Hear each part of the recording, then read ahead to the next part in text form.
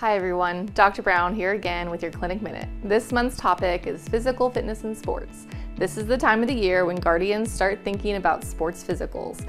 Kids need them for camp, and it's one more thing to add to the never-ending to-do list. As doctors, it gives us an opportunity to check on the well-being of children and helps parents remember any concerns they need to bring to our attention. State associations vary, but in Missouri, they require a doctor's physical every two years. But remember, us clinicians like them yearly. Adults should have sports physicals too. In fact, sometimes they have to. For example, the Philmont hiking experience, scuba trips, or other adventure-like activities. You heard me preach about the power of moving our bodies and fueling our bodies well. You know me, don't get me started on the nutrition choices we make. But even with all that good food, exercise and physical activity are likely the most potent thing we can do to positively influence our health and well-being. Oftentimes, when I see a robust, healthy elderly person in my years of practice, they continue to exercise and often tell me of their youth when they were working hard on the farm.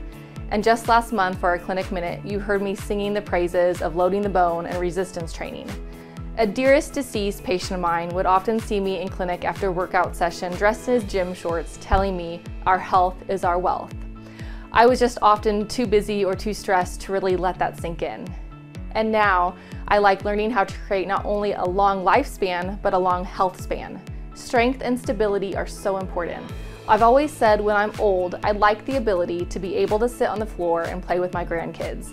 Now, if many of us picture our grand or great grandparents or our older loved ones, then we know that for many people in their 70s and beyond this is a pipe dream.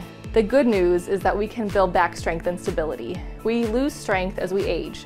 So if you can barely carry your own luggage now, you won't be able to do so well as well in 10 years. So we have to use it or lose it. Maybe you need to start with an easy walk every day, or maybe you can cycle for miles but need to work on strength training.